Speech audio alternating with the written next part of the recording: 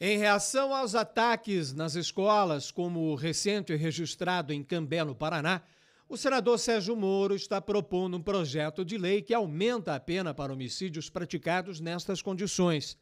Mas será que o endurecimento da lei penal por si só resolve estes problemas? As escolas estariam mais seguras? Perguntas que merecem uma reflexão maior. Aqui no Colégio Militar de Pato Branco, nós temos o que seria hoje o ideal, um sonho para os pais terem em frente às escolas a sinalização de trânsito, uma viatura da Polícia Militar e lá dentro, inclusive, policiais militares durante todo o período escolar. Mas esta realidade, nós sabemos, está longe de ser a regra no estado do Paraná e no Brasil. Aqui nós temos a exceção. A preocupação com a segurança no ambiente escolar está entre os assuntos mais debatidos no primeiro semestre em todo o país.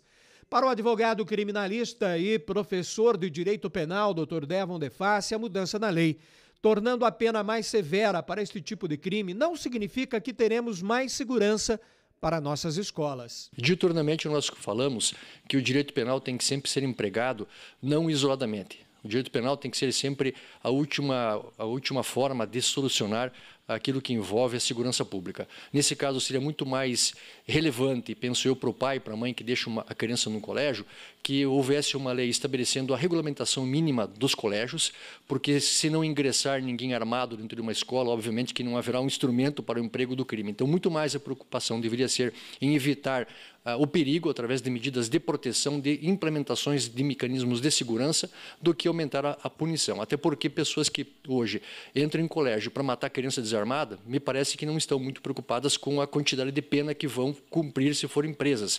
Temos países como os Estados Unidos, onde esses fatos lá acontecem, eles têm um direito penal com pena de morte, um endurecimento muito maior do que aquilo que acontece no nosso país, e eles não estão conseguindo evitar essas ocorrências, mesmo com uma lei mais pesada. A segurança nas escolas, aliás, é o tema fortemente debatido no governo do Paraná atualmente, através da Secretaria de Segurança Pública.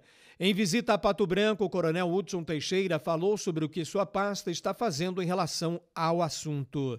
Quarta-feira nós teremos uma reunião lá em Curitiba, né, no, no Palácio Iguaçu, onde no Comitê de Segurança para situações de escolas, serão definidos alguns protocolos de atendimento.